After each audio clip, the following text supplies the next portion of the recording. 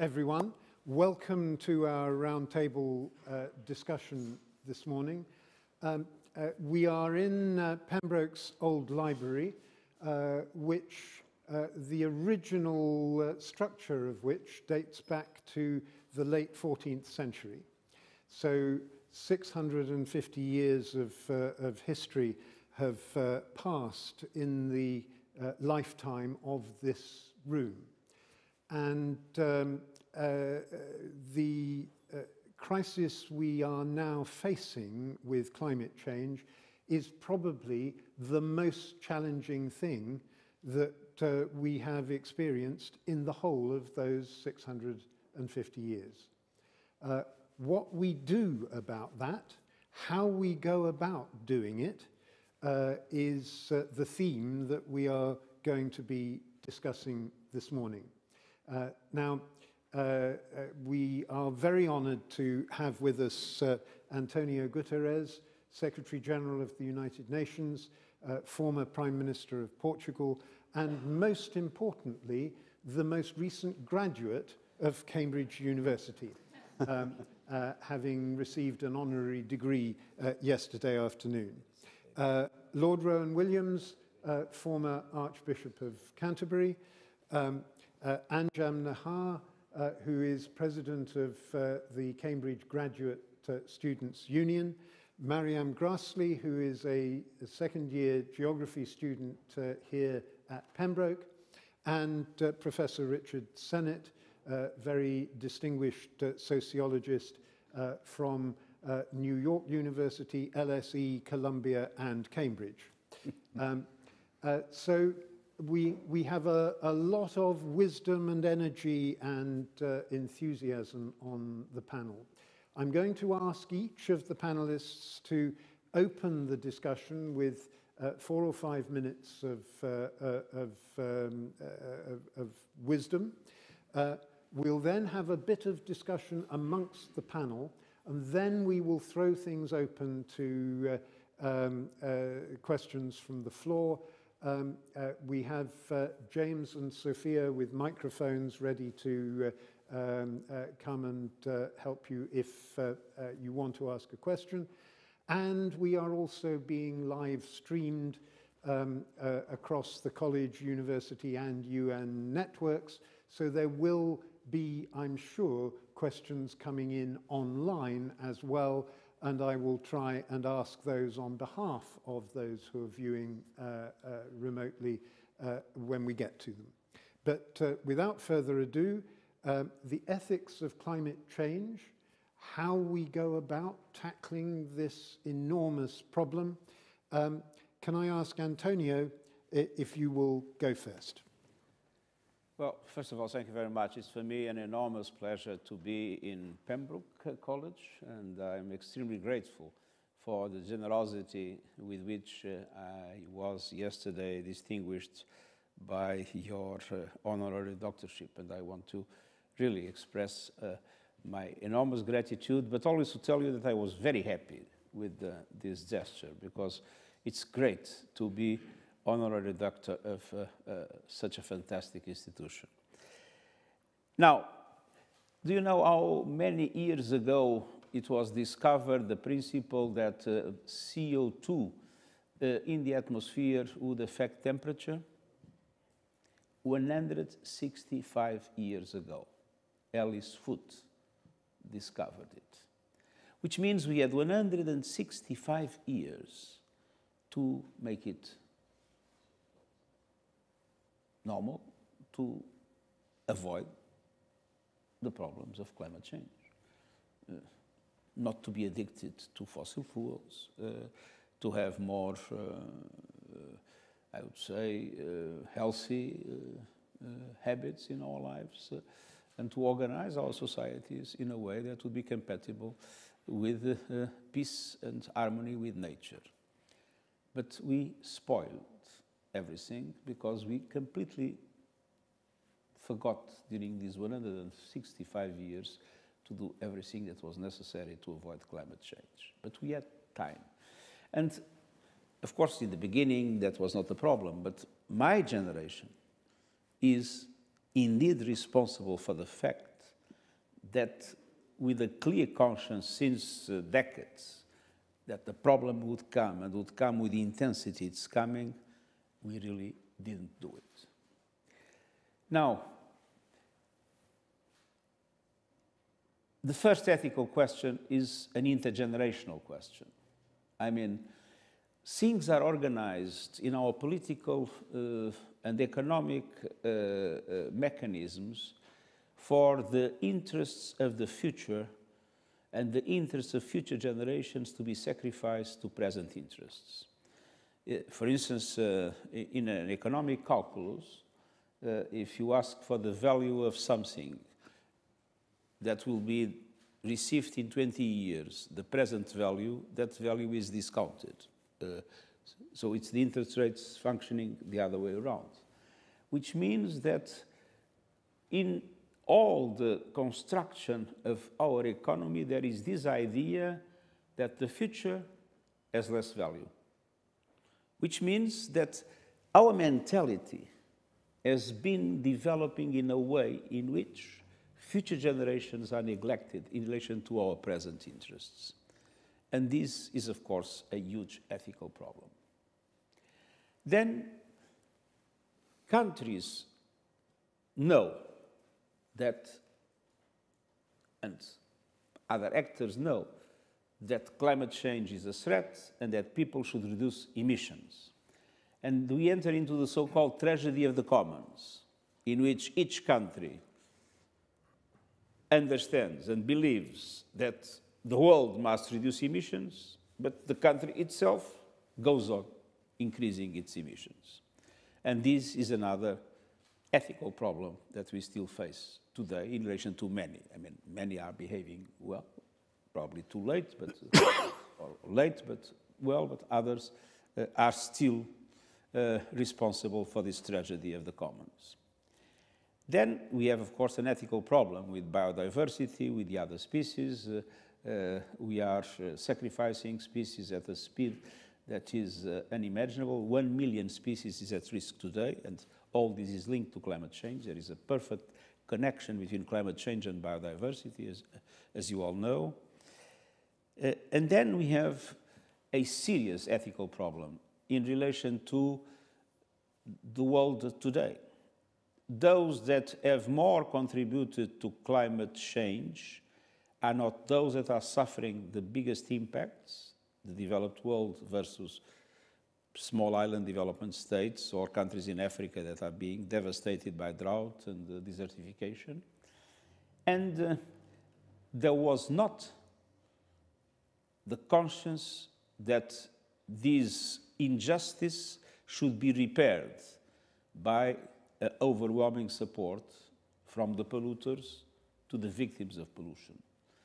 And indeed, uh, until now, there has been very little financial support to developing countries for them to be able to adapt their societies, their communities, to make them resilient, uh, to limit the impacts of climate change. And, and two of the serious problems that we are discussing in Glasgow, but we are not yet there, is that the developed countries were not able until now to meet the commitment they made in Paris, and they had already made uh, 10 years before that they would give 100 billion US dollars to developing countries in, for climate action. And even now, the last proposal is we didn't do it in 2020, 2021, 20, we will probably not do it in 2022, but we will do it in 2023 and then we'll compensate. And as you can imagine, the developing countries do not like to hear this. And then there has been reluctance in many to understand that this money needs to be given not only for these countries to reduce their emissions, but also for adaptation, to limit the dramatic impacts that are already existing. Now, imagine a country in Africa. That country has no vaccines. That country has not received significant amount of resources in relation to the recovery developed countries are spending about 28% of their GDP in the recovering of their economies. Least developed countries, only 2%, have a much smaller GDP. The liquidity and the debt problems that they have have not been solved. Uh, And so they are victims of lack of vaccines, victims of lack of financial resources for recovery, and victims of climate. So there is a basic global injustice, there is a basic global inequality that is a very serious ethical problem of our societies and especially of all of us that live in the developed world. So, responsibility towards future generations. I hope it will be in the center of the reforms we are now trying to introduce in the United Nations. Responsibility towards nature and towards uh, uh,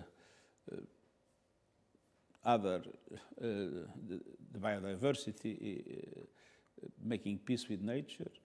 Uh, responsibility uh, in relation to correcting the dramatic injustices that are now taking place due uh, to climate change between developed and developing countries, between men and women.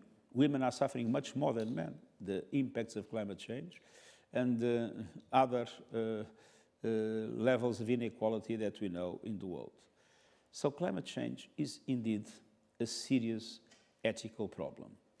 And uh, allow me to pay tribute to Cambridge again, because uh, when confronted with the idea that the interests of future generations were less relevant than the present interests, uh, Frank Ramsey said the idea that future generations count for less is ethically indefensible and arises merely from a weakness of the imagination. Mm. So Cambridge, once again, has the key to all the ethical problems that we are discussing. Thank you very much, uh, Antonio. Rowan. It's a very great honor to be invited to speak in this company, and I'm delighted to have the chance to do so. I'm also delighted at the quote from Frank Ramsey, who, as many of you will not know, was the brother of one of my predecessors as Archbishop of Canterbury as well as being probably the most distinguished mathematical philosopher of the 20th century. But I'd want to follow on one of the points that the Secretary General has already made so eloquently and supplement it with two reflections of my own. We've heard about the ethics of looking for the interest of future generations. If we were to take seriously what seems to be the assumption on which we presently work, we would not bother with education. As a human race, as a civilized human race, we are deeply invested in educating the next generation. We believe that we have something of value into which we want to induct a rising generation. In other words, in part of our social imaginary, we take seriously the reality of the next generation. We believe we have something to share. What a paradox, therefore, what a tragic irony that in our international affairs and our economic affairs, we behave as if our commitment to education were empty, as if the rising generation had nothing which could be shared with us. The fact is, there are no cut-off points between generations. We are always overlapping generations. And so our duty is not just about the future, it's about the present. And it's about recognizing the deep immoral inconsistency in pretending that we are committed to educating the next generation while actually taking away from them the possibility of a proper, active, and life giving share in the culture we treasure. Hence the importance, and I hope to hear more in the UN, at the COP conference, at many other fora. I hope to hear more about the importance of legislation around future generations. I declare an interest. I'm Welsh, and the government of Wales a few years ago passed a Future Generations Act, which requires that every piece of Welsh legislation be scrutinized in terms of its impact on future generations. A similar piece of legislation has been introduced by Lord Bird in the House of Lords, I believe, and that, I think, is something which all governments should be considering with the greatest of urgency. Second point, I've already said that the issue about climate change is not an issue about the future, it's an issue about the present.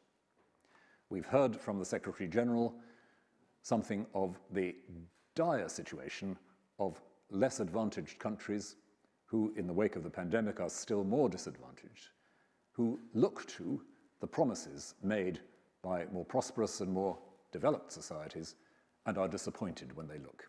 We have not honored our commitments. We are, we are perpetuating not a future injustice, but a present and tangible injustice. But one particular instance of that present and tangible injustice, which I'd want to underline because it doesn't have enough profile, is the way in which activists and protesters around climate issues are deeply vulnerable to murderous violence. A couple of weeks ago, I was part of a seminar which involved the commemoration of an activist in South Africa shot in her home by unnamed and so far unidentified agents after her protests about the development of her region by a mining company. This is one story among scores of stories of climate activists around the world being subject not only to threat but to actual murder.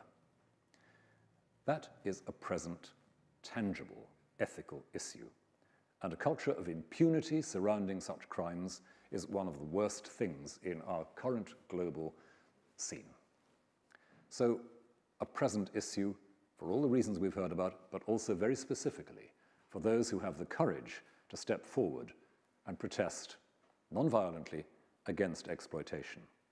Very often, these are people who come from themselves, who come from impoverished and frequently indigenous communities already marginal in their own countries. Third and final point, which is a rather more general ethical point. It builds on that sense of moral crisis around our global habits because the attitude which regards the world around us as our property to be disposed of as we will is an attitude that carries over very readily into seeing the rest of the human race as potentially property. We like to think we've grown beyond slavery. We haven't. There is a real crossover between making the world our property to do with as we will and making the rest of the human race our property to be exploited and wrecked by our own agenda. So the big moral question is, can we unclench our fists? Can we challenge that fundamental, I'll use the word because I'm a priest, sin, that fundamental sin of regarding our environment, human and non-human, as something to be possessed. Already in Hebrew scripture, we read that the land given to God's people in Hebrew scripture is not a property but a loan. It's there to be used and it's there to be shared. That deep moral and religious principle is, to put it mildly, occluded in global priorities at the moment, and it's time it wasn't.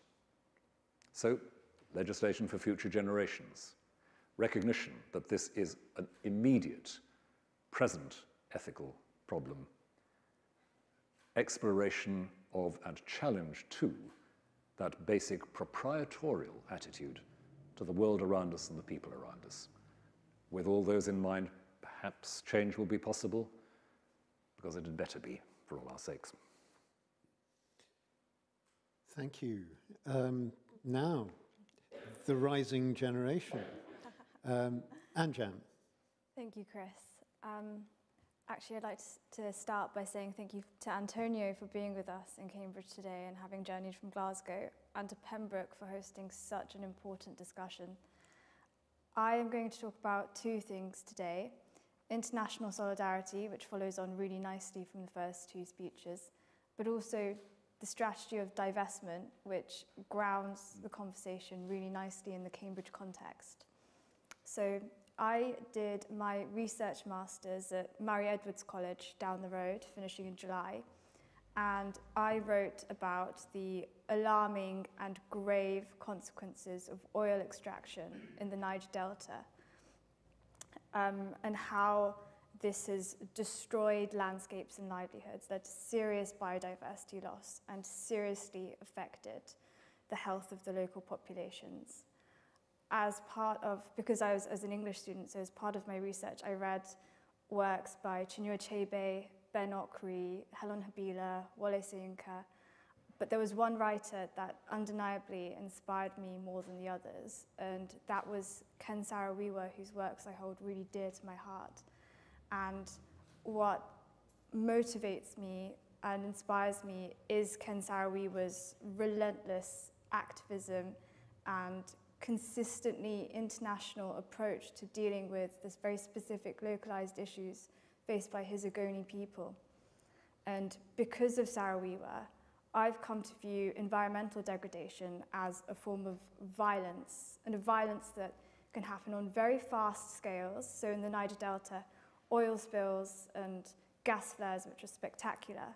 But also, it's important to remember that this violence can be slow violence as well, as theorist Rob Nixon has termed it. So we see the, the gradual erosion of our coastlines and the slow melting of our glaciers and the, the gradual pollution of our bodies of water. My own climate campaigning started when I was an undergraduate at a different university, at the University of Bristol, where I was part of a student group that successfully lobbied the university to divest from the fossil fuel industry. Divestment being a mechanism which ensures that an institution cuts all financial ties with an unethical industry. I then arrived in Cambridge last summer during a period of intense discussion regarding Cambridge University's need to divest. In that summer, a senior research associate at Jesus College, also down the road, uh, published an amazing report outlining all of the details of what divestment at Cambridge would look like. Following the publication of that report, the university made the big decision to commit to divestment by 2030. This decision makes me extremely proud to be a member of the Cambridge community and also to be a trustee of the university. And um, I was laughing with Richard earlier because uh, uh, we did it before Harvard, who only managed it this September. It's not a race. well, we need to create some urgency, so. um, uh, divestment ensures that money can be allocated to renewable energy and to, to green bonds. It sends a message to unethical companies that institutions will not work with them until they radically change their approaches and their practices. Divestment can be done without violence or without certain forms of disruption, and it can create working relationships and lines of communication between the student community and senior management in the university. Divestment is the right thing to do. And by divesting, the University of Cambridge has sent a message to the world that it takes the climate catastrophe that we are in now seriously. But given the severity of the situation we face, there is still more that Cambridge University can do. Now is the time for Cambridge to commit to net zero by 2030 and to review its acceptance of research and donations from the worst hu human rights and climate offenders. As Cambridge students, we're not going to stop campaigning until keystone species stop going extinct, until the sea levels stop rising, and until people across the global south are guaranteed safety. Thank you. Thank you. Uh, Maryam. Yeah, um, thank you for inviting me to the panel, and I'm really grateful to have such amazing speakers with us here. Um, I'm Maryam, a second year geography student here, and I spend a lot of my degree and my free time learning about climate change and climate justice. And I try to act on what I've learned. I'm part of Extinction Rebellion Youth Cambridge, which hopefully you've heard about in the news. Uh, we try to raise awareness, do mass protests to change policy, do more direct action for specific companies, and also trying to create some of the solutions on the ground. I'm also part of FLAME, which is the Youth Land Workers Alliance, and we're trying to fight for sustainable agriculture and trying to get more young people into farming. And there's always other activist stuff going on, like helping out with the divestment ca campaign, giving lessons at schools, making leaflets. It's an endless saga. it's great. Um, I just want to say now I can only speak from my own opinions and experiences. I have listened and engaged with a lot of other young people and activists, but I can't, can't claim to be representative of all of them. Today, I'm going to talk about two main injustices within the climate crisis and some power imbalances, and then talk about representing voices and community resilience. So for me, there are two main injustices within the climate crisis. The first is the one Antonio mentioned already, that those emitting the most greenhouse gases are, and those who have emitted the most greenhouse gases historically are not the people who are most affected by the climate crisis. Um, and that's why we shout on the streets that climate justice is social justice, because it's always minority groups who are already vulnerable that will be impacted more. So you first have to bring those groups up in order to have climate resilience. The second big injustice is that those in power are those who are being impacted. COP26 has got so many more voices than it has done before, and I was really happy to see that Indigenous peoples have finally got representation, but there's still a long way to go. It's a great step that they've got governments from around the world, but you need to make sure that those governments are representative of their populations. There are still lots of voices that are being ignored in our communities. Um, I would argue we need citizens' assemblies and we need more power given to local communities. And we don't need systemic upheaval. We don't need a revolution for that to happen. We already have the structures in place. We've had citizens' assemblies, we have councils. Just more emphasis needs to be put on those frameworks. At COP, activists have set up a people summit outside, and I really hope that leaders pay attention to that. There's also, as Rowan right, mentioned, um, power imbalances in activism. So it's a lot easier. Some actions that we can take in the UK would result in murder or imprisonment in other countries, and that's why we really need to stand in solidarity within activism. There was a group called WTF WWF that did an amazing action where every step of the decision-making process and the action, they Skyped the indigenous communities they were speaking for and asked them what they would like them to do next. And it was a really, really powerful action. Um, so now I'm going to talk about some solutions. So Ooh, louder.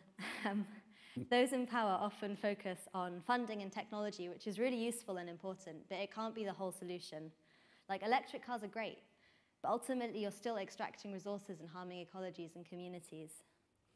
Um, so we can't pretend just because we're funding more renewables that we're not also causing harm in other countries. We can't keep demanding beef and plastics and minerals and resources and then also just have a climate project on the side and pretend it's all okay. Sustainability needs to be at the core of what we do, not some kind of free gift on the side. And unfortunately, that's not what I'm seeing happen at COP yet. I really hope I'm wrong, and I have not had the time to read the news in depth. But the sponsors of COP have really showed it to me. Like some of the main sponsors, some of the some of the sponsors of COP are NatWest and Unilever, who are two of the most polluting companies, and they just happen to have some sustainable projects as well. So COP26 has the potential to do a lot, and I'm trying to stay hopeful. But governments have historically broken a lot of their promises, and I'm a bit dubious, I guess. Mm. And I, either way, climate change is going to happen. Whether it's less severe or more severe, but it's going to happen. And we need to create our resili resilient communities now. As activists and as individuals, we have a huge power to do this. There already have been attempts to create communi resilient communities with community gardens, mutual aid, the Cambridge Community Kitchen and free shops. Um, ways to protect the most vulnerable and try balance the injustices of climate change. And this can happen as globally as a solidarity and also locally in our community. As Donna Haraway says, who's a feminist scholar, we have to stay with the trouble. We can't pretend there's going to be some massive solution and the world will be fixed. And we also can't think there's going to be an apocalypse and go into despair. We need to stay living with the difficulties that climate mm. change will bring and create resilient, resilient communities through that. Very good. Thank you. Richard? Uh, well, I just uh, would like to add a, a down note on, on this, if, if there's such a thing. uh, which is that I'm part of a, a, a research movement uh, which uh, is, is called deep adaptation. And it's trying to understand what will happen if Antonio fails.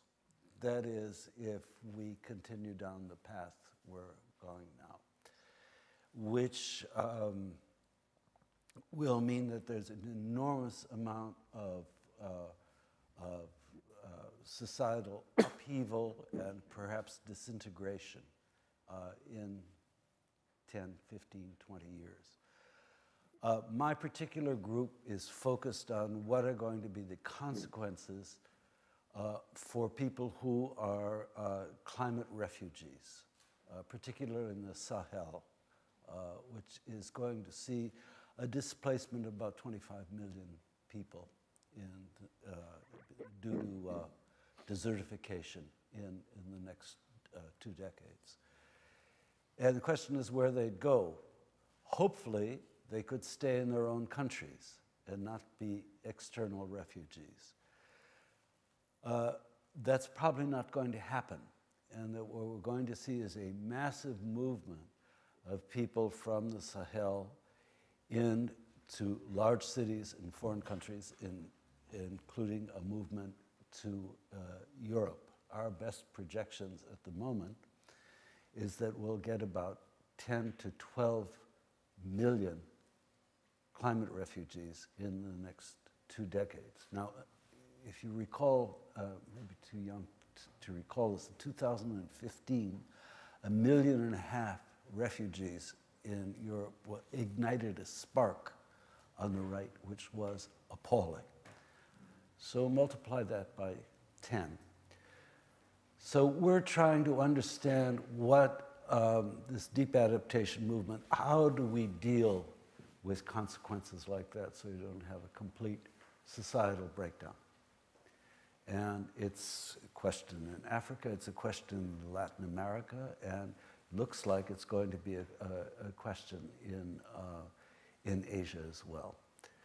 Um, some of this research is, um, is ongoing here and if you're interested in it, in the, uh, from February on, we're going to have a, a seminar here on deep adaptation and strategies of deep adaptation. I hope this is all irrelevant. I hope that Antonio succeeds and that uh, uh, uh the, the world changes in another way. But if it doesn't, we've got to figure out how we are going to keep a society uh, going, as with issues like, like uh, refugees, uh, which we're completely unprepared for. So solve it, do it, put us out of business. Thank you, uh, Richard. Some, uh, uh, some, some sobering analysis from, uh, uh, from all of you. Um, I, am going to uh, encourage a bit of discussion within the panel first before coming to, uh, to questions from the audience.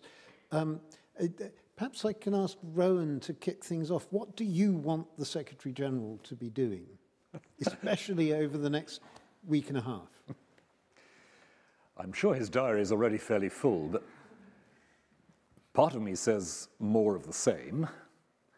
Part of me also says, keeping on challenging the idea, and I pick up here from Maryam, challenging the idea that the solutions are always going to be primarily technological rather than socially adaptive and imaginatively adaptive. Because we are often deluded by the idea that we can dig ourselves out of the hole by the same techniques we've dug ourselves in. Technology is a crucial part of this, but I think it's just a, a sliver. So I wonder what, what can be said from a place like yours, Antonio, about changing mindsets, habits, lifestyle, because that's to ask you to be perhaps as much of a preacher as some of the rest of us are.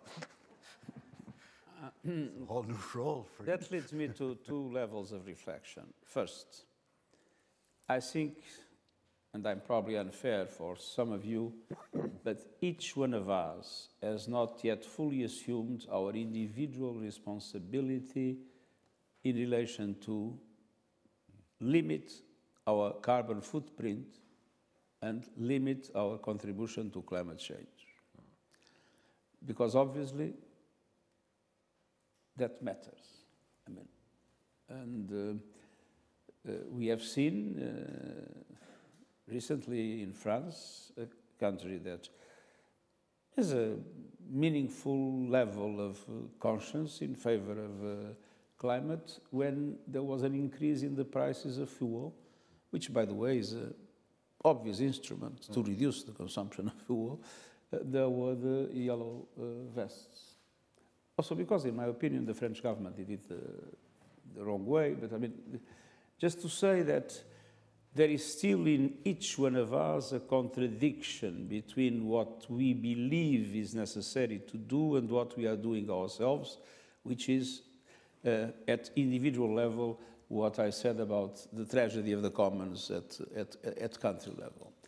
Then, second point, technology will be extremely important, and I'm hopeful that technology will help us bridge the gaps that uh, probably will be very difficult to, to, to, to, to bridge just by making governments, especially emerging economies, um, uh, do enough to, to reduce their, their emissions.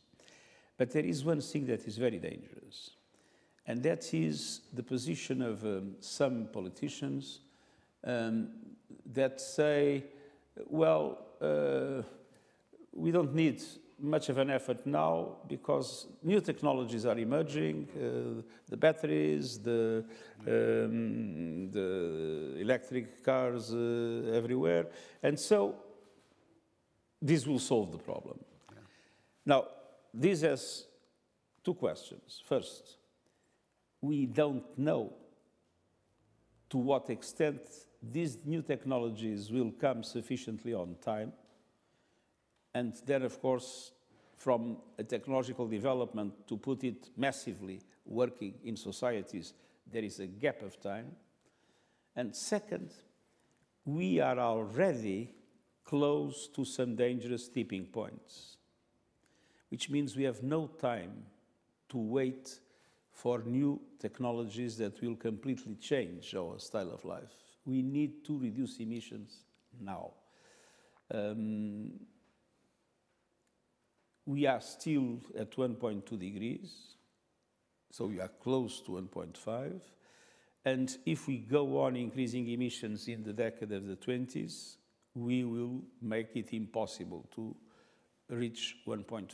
So all your efforts as citizens, all your efforts as uh, activists must be to make all decision makers in the governments, in the public sector, understand that this is a moment in which the extra effort must be made, independently of the fact that I fully uh, subscribe that we need to invest as much as possible in accelerating the access to new technologies that will allow, because hydrogen, as you know, is a clean fuel, even if depends on the way it's produced. But I mean, that's a more complicated story.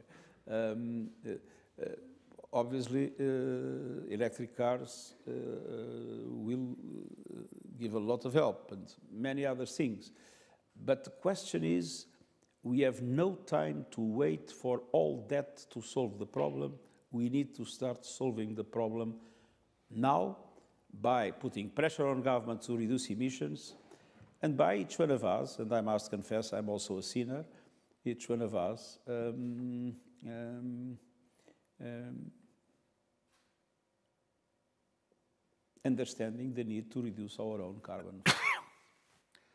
Just very briefly, I, I, think you've put your finger on one of the, the real problems here, which is that some of the talk about technology is in effect saying, in five years' time, we will have a technological solution to today's problem. But in five years' time, the problem will be different and worse.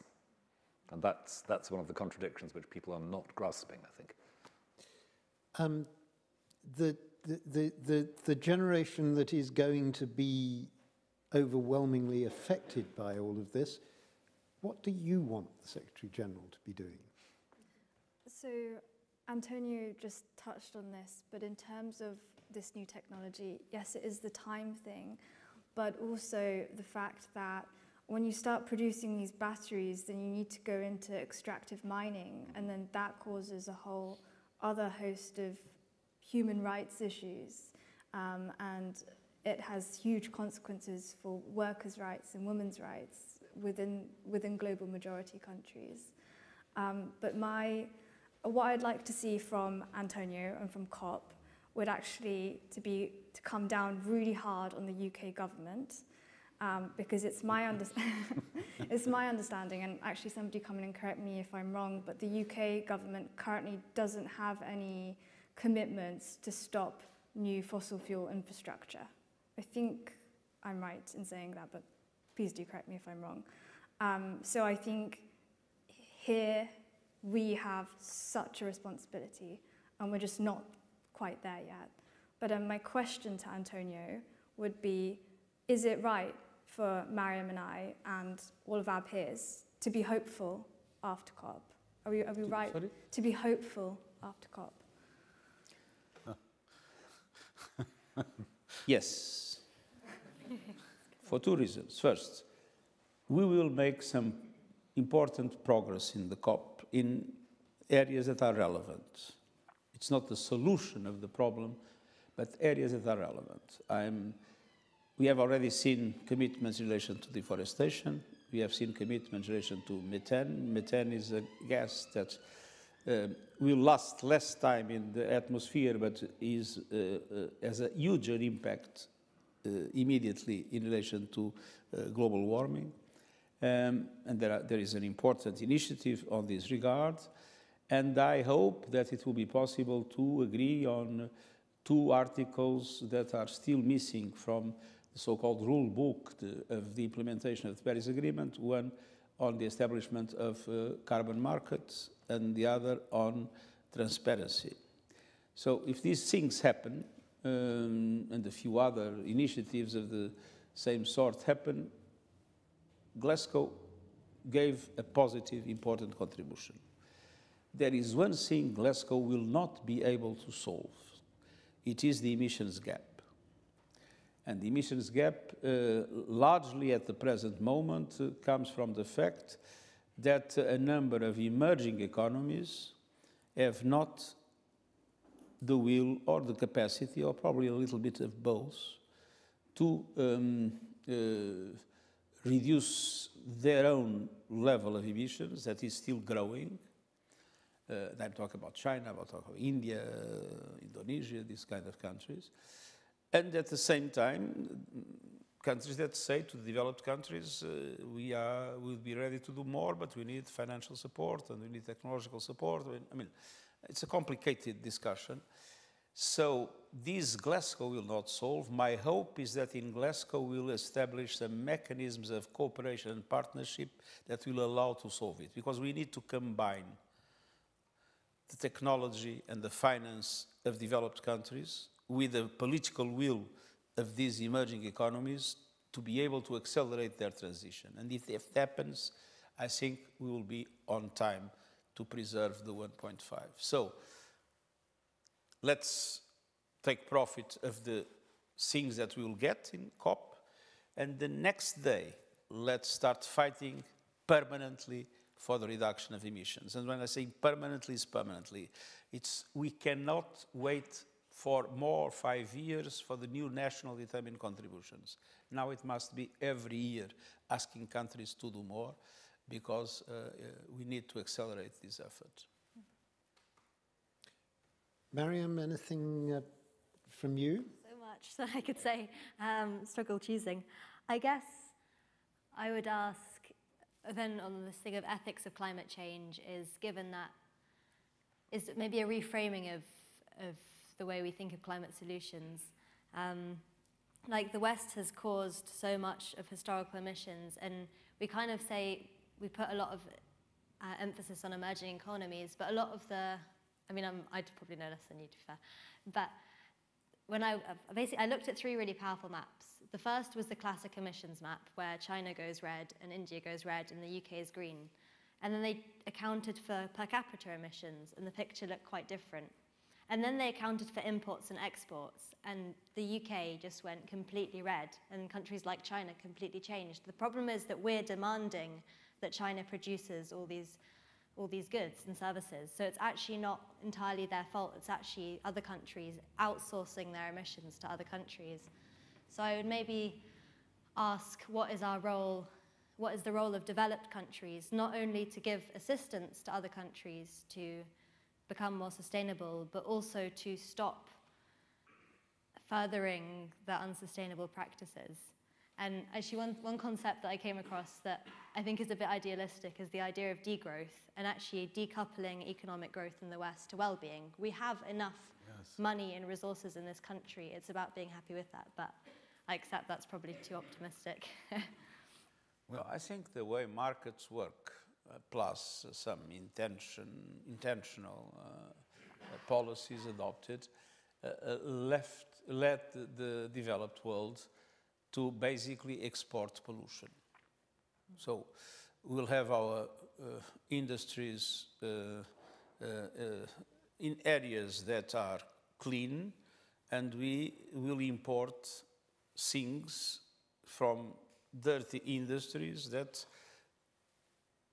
move somewhere else. And sometimes move somewhere else with investments owned by developed countries. Um, and so we, we, have witnessed in the recent decades a deindustrialization of the Western world, uh, with societies becoming more and more societies of services, and transforming China in the kind of a, um, factory of the world. No, I mean, uh, this strategy was uh, a strategy that was uh, seen also from the perspective of um, that allows to reduce prices of these goods, uh, and at the same time it establishes a competition on labor um, and labor costs that uh, uh, as a consequence that the share of capital in uh, uh, national income in both developed and developing countries has increased and the share of labor has decreased. I mean, um, a textile, a textile um, uh, worker in the UK competes with a textile worker in China, so, and so it's difficult to see its salary increase. But at the same time, um, the top management of companies, uh, we see now that in China they compete here. There is a competition for attraction, and so the salaries go up, up, up, up to, to levels that are absolutely, I mean, I would say immoral. Uh, so this was the trend. The problem is that these emerging economies became so big and in some aspects so powerful that they started to be able to compete also at the level of the high technology. And so we have now this complex balance of power in which some people say artificial intelligence, China is already ahead of the United States. I don't, say, I don't know if it's true or not. It's probably not true, but I mean, things are changing very quickly. And uh, these, in my opinion, will, should lead developed countries to understand that they cannot outsource pollution, they need to solve the pollution inside. For instance, uh, you might have heard about rare metals and rare earths that are essential both for the green technologies and the digital technologies. Practically the capacity of production in the developed world, because the mines are uh, complicated and whatever, everything was closed. And everything went to the Chinas, the Brazils, uh, etc. of this world. So I believe that um, this policy of exporting pollution needs to stop and we need to develop the technologies able to produce several things back in the developed countries. Uh, and at the same time, uh, we need to establish forms of cooperation with these emerging economies to allow them to accelerate the uh, transition to a green economy. So there is, but this ca can be done with international cooperation. This will not be done with geopolitical divides that do not allow for international cooperation. And this is another fundamental battle in the few years to come. And just not, not to lose your crucial point, Maryam, about growth. Um, there are centres in this country and universities looking at not only um, models of prosperity without growth, Tim Jackson's work, of course, in the University of Surrey, and the Centre for Sustainable Prosperity that's come out of that, but also at Leeds, some scenario planning for the city of 40 years down the line if we take on board the imperatives we've got now. I think more uh, intelligent academic investment in that kind of modeling is going to be a, a, key part of this because it does take us a bit beyond the technological fix thing, which I think you're, you're rightly challenging. And if that can be also part of an internationally cooperative approach, particularly to urban rural modeling, to agricultural modeling, that, that has to be part of the solution too. And this has as much to do with the hardware of society as it has to do with the software of society. Mm. And research is as important in the hardware of society as it is important in the software of society. Uh, now, if Richard will uh, uh, forgive me, I'm going to uh, uh, seek some questions from the audience first, and then there are already some questions come in online um, from uh, those who are watching the live stream. So, any questions from the audience? Um, yes, first. And uh, James is about to appear with a microphone. Thank you. And um, if do feel free to take your mask off. If you take out the mask, we will Thank yeah. you, yeah. understand you better. My name is Madeline Hahn. Um, I'm a first year PhD student here. Uh, but in addition to my PhD, I work with an organization called Deploy US, which works on bipartisan solutions to climate change in the United States. Mm. Um, and the goal is to really involve people from all sides of the political spectrum on the climate, and particularly reaching out to people from backgrounds that are underrepresented in the climate discussion, like the military and business and religious people as well. Um, and we are we're seeking to find ways for the discussion to bridge these chasmic divides, particularly in U.S. politics, politics, which right now is pretty rancorous at times. So my question is, in that context, what have you, Antonio and, and Rowan, and you as well, given your US background, found to be the most useful to, to work together on a project like climate change while acknowledging that you're not going to be able to resolve a lot of these other serious divides? Mm. Well, if I understand well the US society, which of course is not easy, uh, I think we have had a positive step from a situation in which half of the political spectrum was recognizing the existence of climate change and half of the political spectrum was denying or acting as if they would deny the uh, reality of climate change. Now, I think there is an almost unanimity that there is a problem with climate change, but there are those that believe that to address this problem, an, a number of structural transformations are needed, and this is very much linked to the recent debate on the clean energy um, initiative. And those that say, no, fossil fuels are very important, uh, they are very much linked to our economy, to our power, to our jobs, and so uh, yes, climate change is important, but uh, we need to go on investing in fossil fuels, um, and technology will solve the problem later. Uh, I think it's very important to now give all the arguments and instruments and I mean and, uh, and support the civil society and support um, those areas of the political spectrum and support the, the cities and the, the, states that are already moving in the right direction to explain that the two objectives are incompatible. You cannot solve the problem of climate change and maintain the addiction to fossil fuels. Of course, fossil fuels will not disappear immediately. Our main priority has been coal, And coal is no longer essentially a problem in the United States because it has been decreasing quite substantially. It's essentially today a problem in, in China, in, in India, in Indonesia, and in countries that came later in the process of, of development. But the addiction to oil and gas is huge in the American society, and it's absolutely essential to adopt the measures that the government was preparing. Those measures will not go through, um, uh, uh, but apparently they have an alternative that might solve the problem, and let's hope so. But the, the battle now in the US is not about whether there is or not climate change. The battle is to make people understand that there is a part of the American way of life that needs to be looked at seriously, and that has to do with the fossil fuel addiction.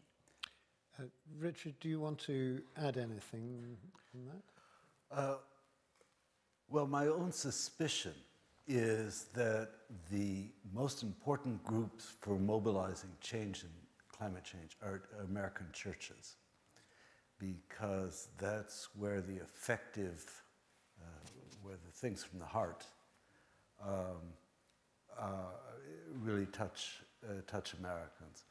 I'm rather skeptical that political action is going to uh, have a, a change in, in, mentality of the sort that Rowan is talking about.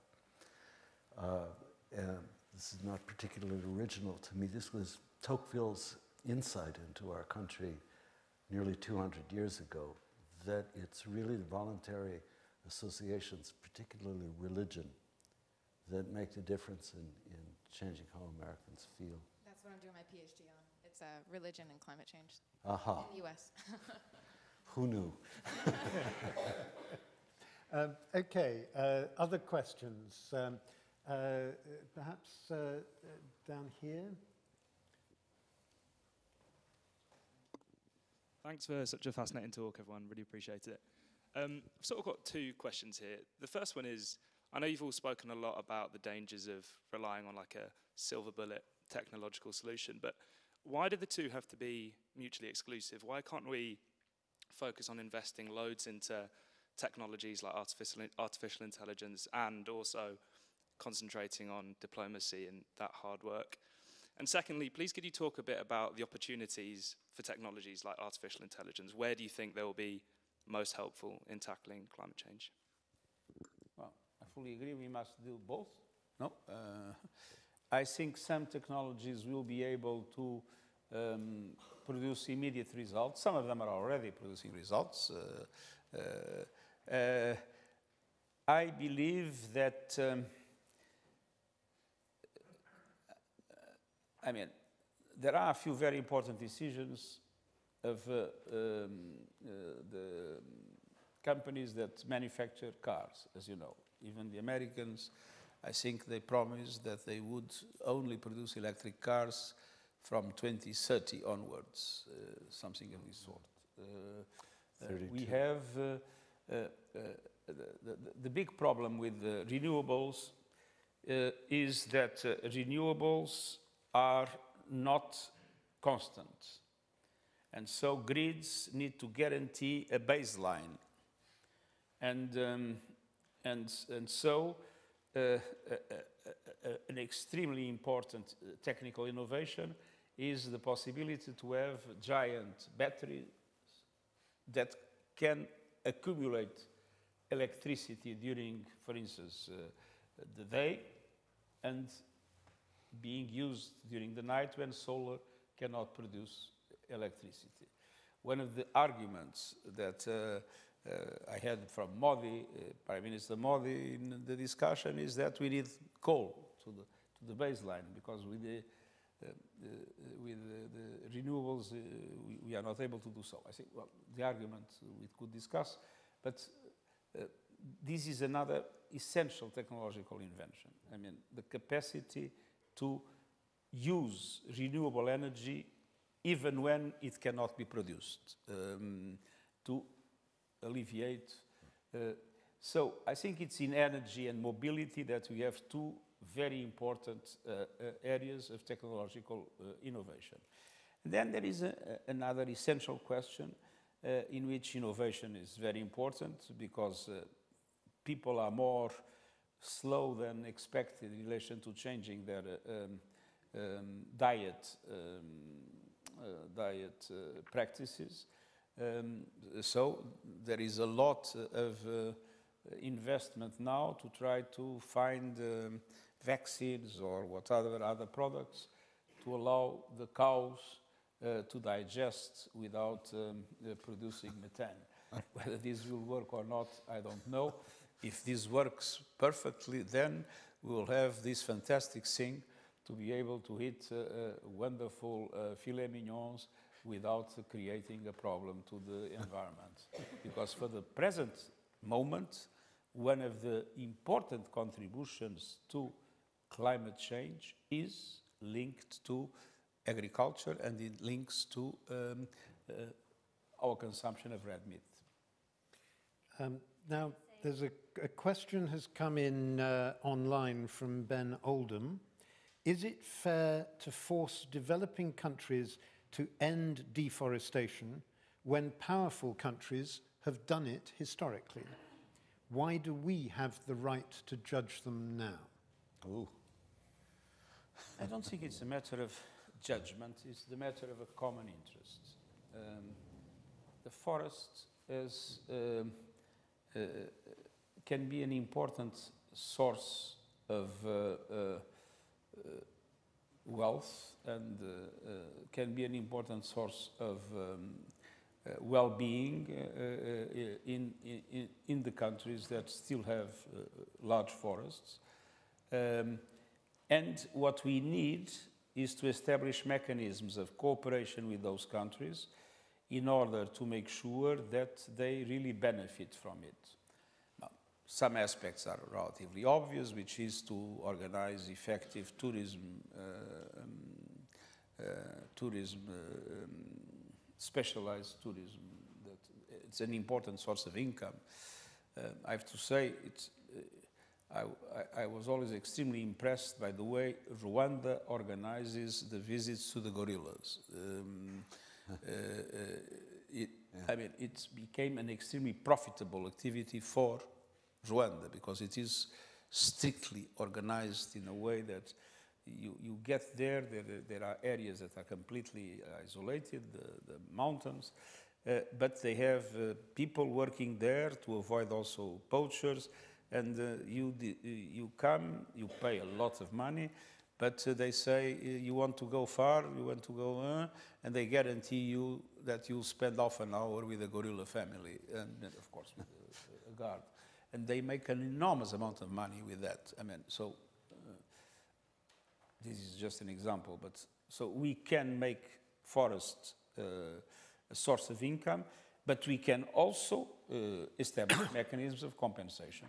uh, when that, uh, that is necessary. But, but the forests became a global public good. But the largest um, um, I don't say, don't say if you say lungs of the world in, in English. Uh, yeah, yeah. The, the, largest lung is no longer the Amazonia, is the Congo Basin. Yeah, Congo. And the Congo Basin is essentially intact. Um, there is a commitment now of Indonesia to stop um, destroying forests for what was dramatic in Indonesia and Malaysia was the, the oil, palm oil um, uh, the replacement of the forest for palm oil production. There are no commitments in this regard. Um, we have um, in Pakistan with a program of 10 billion trees. We have several others so that, that are very important. And uh, uh, we have the forests in the north that we need to preserve. Russia and Canada, for instance, have large uh, uh, forests that probably are more important from the point of view of sinking CO2 than the tropical forest. And uh, we need to do everything possible to support them to preserve it. So, I mean, it's, it's not a question of telling them you are not entitled to. It's a question of creating win-win solutions in which they also can benefit. Can I say something quickly on it? Um, from my experience, a lot of the communities around the forests actually want to preserve their forests because they appreciate the need for them, and it's often like a lot of the deforestation in the Amazon has come from producing beef, which is then exported to Western countries. So again, it's not always what they want to be doing. And if I could just touch, briefly on the technology question as well. Um, I think we definitely do need to be doing technologies, but there's just two dangers with it. And the first is that it's used in as excuse, as we've talked about before. Like we can do carbon capture and storage, but only if it's viewed as something we need to do as well, not as a, oh great, we have carbon and capture and storage, so now we can do more emissions. And the other thing is, about creating tech that we don't actually need. Like electric cars are great, but how about no cars or less cars and cycling instead? It's, the problem with technology is, again, if you're pursuing this growth and more extraction and more production, when actually you can just cut that at the base, I think.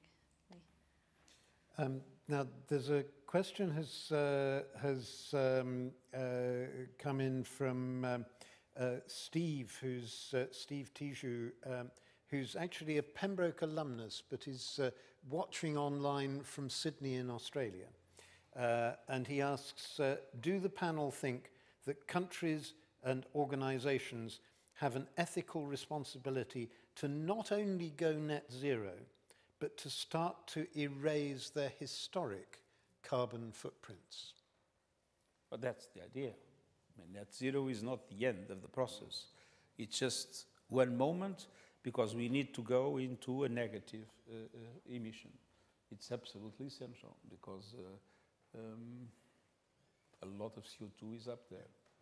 So net zero is uh, a moment in which we move from negative to positive, or, or, positive to negative. I mean, it doesn't matter. But it, it's not, the, it's not the, the, the, the point of arrival. We need to go on. Yeah. yeah I'd, I'd, I'd, echo that very much. Yeah. I think that responding to the climate crisis is not simply a matter of trying to limit damage or solve a problem. It is also a matter of changing a toxic mindset in the long term, which is why net zero is, as, as you say, Antonio, the, the watershed moment, we would hope, for some sort of change. Um, otherwise, it's very easy to imagine getting back on, on the same wheel. And well, that may happen, but we, I think it's, it's of the greatest importance to think of this as more than just problem solving. And a couple more questions from, uh, from uh, the audience. Uh, uh, how about uh, you here? Um, really enjoying the discussion so far. Thank you so much. I was actually quite concerned by a slightly offhand comment made by the Secretary General earlier when you were talking about um, rising fuel prices. Um, what? Sorry? Rising fuel prices in France, um, saying that the um, rising fuel prices are a good way of limiting the amount of fuel used by people, which of course I'm not denying, but it seems to me in the same vein that um, higher quality food is more expensive and therefore fewer people consume it. In that it'll ultimately, if this were the case, that the poor and the less advantaged would be the first to suffer and the first to forego privileges that come with being able to access more places by car, for example. So, how do we mit- how do we um, how do we reduce the amount of fuel consumed or resources consumed or clothes bought without ultimately allowing the rich to continue to have their privilege of consuming what they like and doing what they like and without divesting the poor of their opportunity to also live a fulfilling and uh, resource-wise sustainable life. And that doesn't, of course, just apply within a country, but it applies globally between countries as well. But um, uh, First of all, subsidies to fossil fuels distort the market and penalize renewable energy. It's very clear. Uh, um, but when I say that we need to reduce and, and close and uh, finish with subsidies to fossil fuels, I always say that that money needs, because if you, if, if you don't give the subsidies, you spare the money. that money should be given back to the society in ways that make people have a uh, behavior in which you have a win-win situation because you pay more for gas, but you get that money in your taxes. And because you pay more for gas, you go for an electric car and go on receiving your money from taxes. So, I mean, it's a win-win situation. You'll spend less money and you will get more money. So governments need to be smart in the way they reduce subsidies to fossil fuels or in the way they tax carbon or whatever other mechanism that increases the cost of fossil fuels but compensates society and probably in a, in a much more fair way uh, uh, uh, with what they get from the reduction of subsidies or from the taxes on carbon.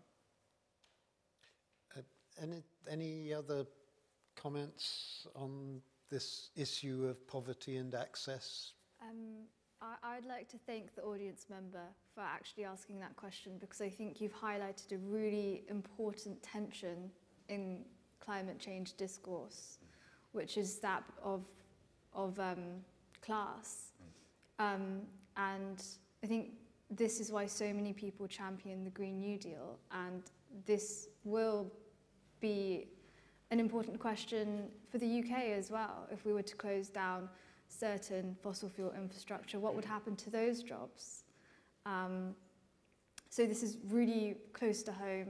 As Chris has said, it, it happens across countries, but also there are real questions here in terms of you know, people who work at Gatwick and Heathrow if, if our flight patterns changed. And that's why the government really would need to think about how we can have that skills transfer for those people in those jobs so they don't lose out when we have that trans transition. And that's why we call it a just transition because nobody misses out. Mm. But obviously, I appreciate it. It's easy for me to sit here and say that when there's so many different things to think about.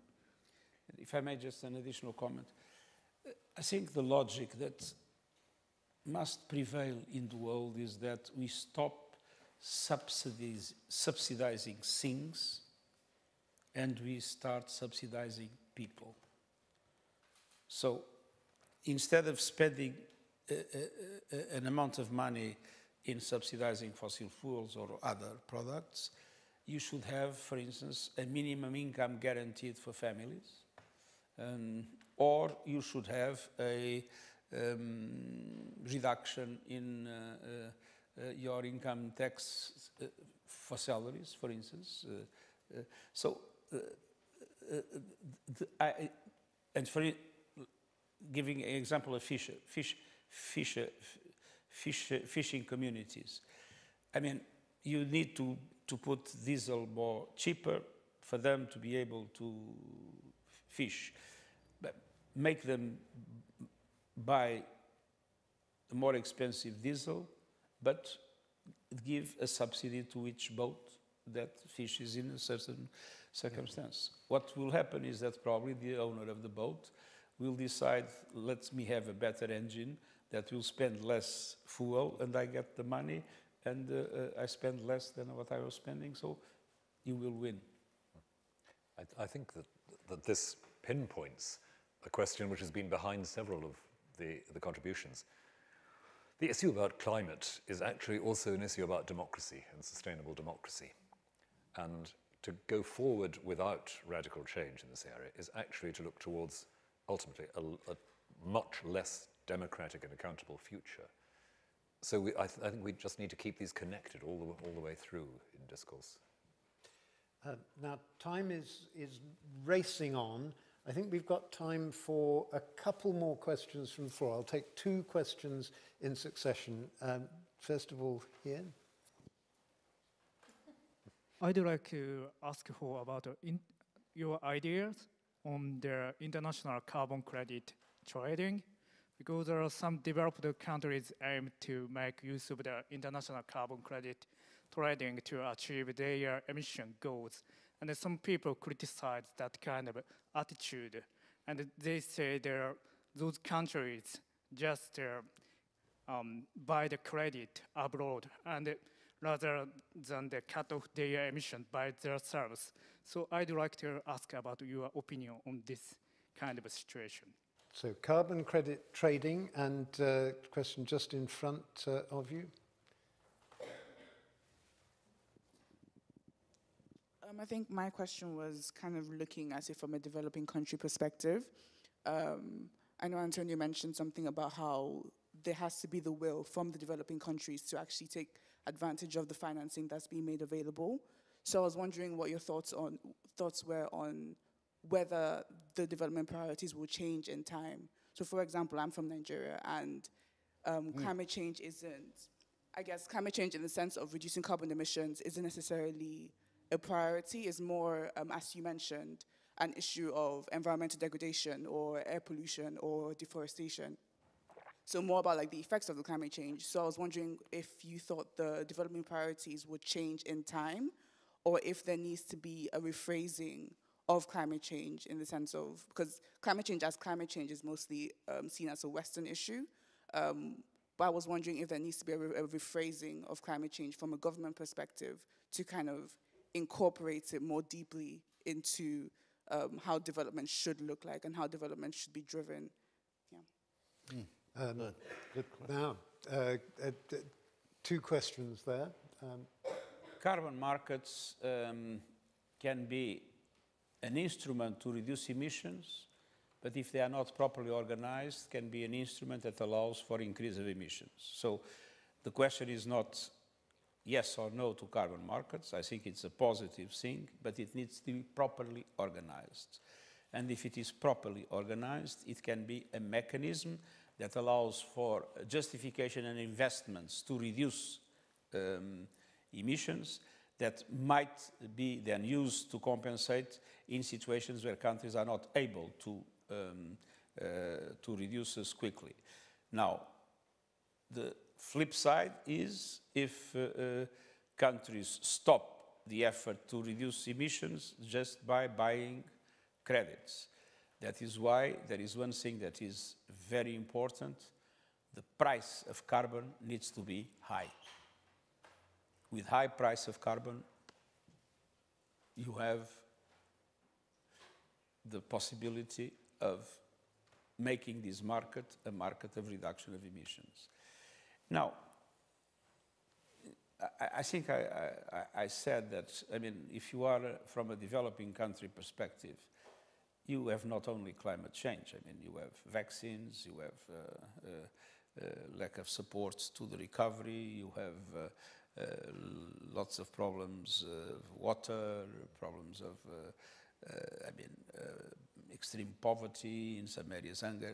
So obviously what, what we want is a model, and we have worked in the UN to produce that model with the so-called Agenda 2030 and the Sustainable Development Goals. So so uh, I'm not saying that everything now must be reduced to climate change. No, I mean, we, we need to look into the relations between the developed and developing world in an integrated perspective. But uh, there is one thing that uh, I, I, think I heard you say that I would like to tell you that I disagree. Climate change is not a, a question for the developed countries. The responsibility, yes, is with the developed countries, but the impacts and the suffering of people is essentially in the developing countries. And I've witnessed the devastation in the Caribbean. I've witnessed the devastation in Mozambique. It's unimaginable. Uh, how all of a sudden a country loses practically everything or a region loses practically everything. Uh, I mean, developed countries are not suffering this systematic impact. So to stop climate change in itself is much more important today for the developing world than for the developed world. We have in the developed world more capacity to absorb the impacts of climate change than in developing countries. Uh, Richard, do you want to come in on this at all? Uh, not really. I, I, I, I wanted to raise a, to me, a, with you, a practical issue about ethics, which is how can we hold hypocrisy to account in COP26? We're bedeviled by hypocrisy. Is there anything we can do, not the, this meeting or you, to hold this kind of hypocrisy uh, uh, to account? Well, there are uh, several things that can be done and one that cannot. Yeah. I mean, I would like to have a system in which there was an independent uh, um, measurement and uh, a system of penalties and incentives. Uh, to a certain extent, that's what, what Biden tried with his. Uh, yes. And yeah. now, the Paris Agreement is a voluntary agreement. It's not a treaty. So the commitments made by countries are voluntary commitments. And there is, uh, in the Paris Agreement, a number of norms about how to measure the performance of countries, but they are not perfect. And there I cannot do much. Uh, what I announced uh, is that I'm going to create a group of experts to measure effectively the commitments to net zero or to reduction of emissions of non-state actors. Because we are seeing lots of companies in the world announcing net zero. No, I mean, uh, according to what uh, was reached in Glasgow, 130 trillion dollars of assets have announced yeah. that they would be. But many of these things, in my opinion, are just um, uh, smoke. I mean, yeah. Um, so uh, I think we need, for the private sector uh, and for other actors, uh, we need a system of measurement and evaluation, and that is what I intend to create. I think, but I cannot then put a penalty on the company. But the, the I mean, the fact that things become public helps. Um, yes, the transparency would help. Helps. It'll help. Um, the, the, mechanisms of the Paris Agreement in relation to transparency are to be discussed now. And one very important contribution of the COP26 would be exactly if we manage to solve the problem of Article 13, that is the article about transparency. Uh, now, a, a, a, final question uh, that's come in online from Mercy how are you planning to engage young people in the post COP26 future, and particularly young Africans, as COP27 will be in Africa? Egypt. No, I mean, we have, uh, uh, we are trying to establish as, as much as possible networks. I have an, uh, a climate youth advisory board uh, with people from all over the world and indigenous groups, um, um, people of uh, rural communities, people living in towns, um, uh, students, many of them, others already working.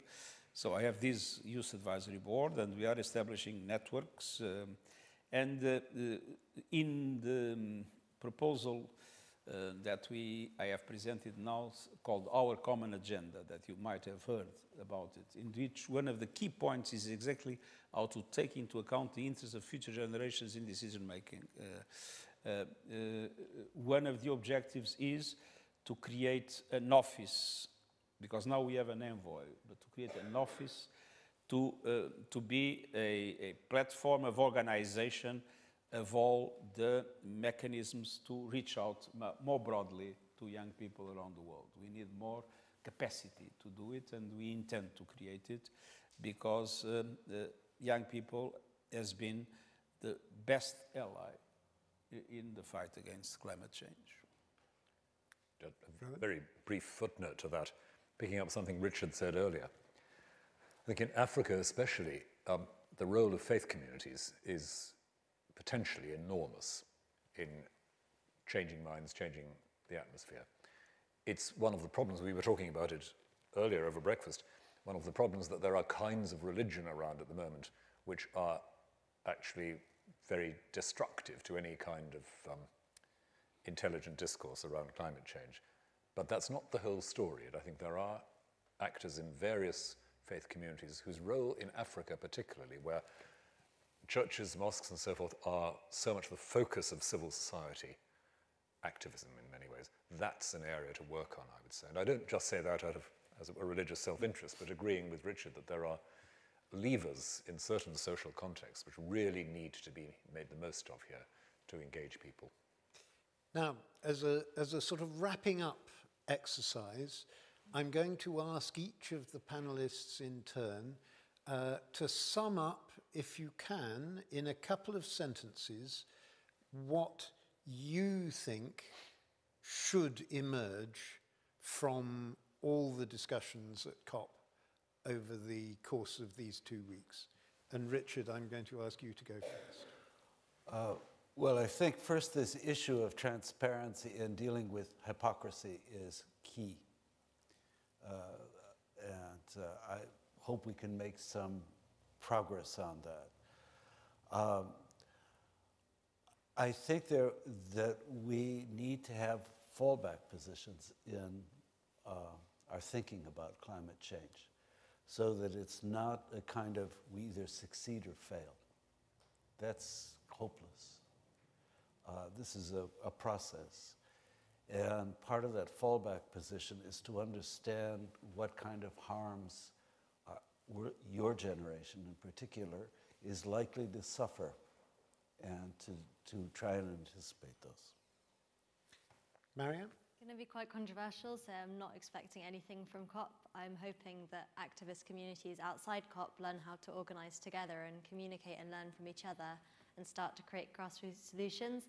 I would love it if politicians at COP listened to them communities and it gave and empowered them and actually gave them voices and platforms and the resources. But my focus at the moment is like, okay, governments can do their thing. We're going to actually try also do it and ignore their talk and actually make the solutions happen. I sort of hope you're wrong, but um, I can absolutely see where you're going. Um, Anjum. I do agree with all that has been said on this side so far. I think I'd like to see more explicit naming and shaming of the bad actors that have yeah. caused this situation and I'd like to see more commitments made by the most hypocritical countries, um, which the UK government, I believe, is one.